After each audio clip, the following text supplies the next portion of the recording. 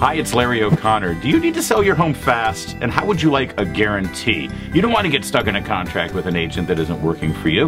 What's the solution? The Sarah and Debbie Reynolds team with Keller Williams Realty.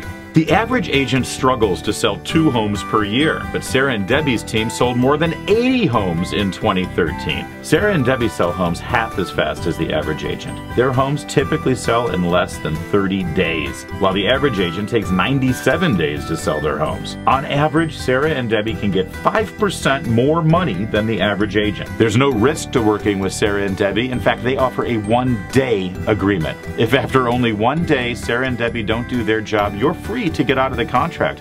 But don't worry, you won't. Click right here on the screen and contact the only agent willing to earn your business every single day.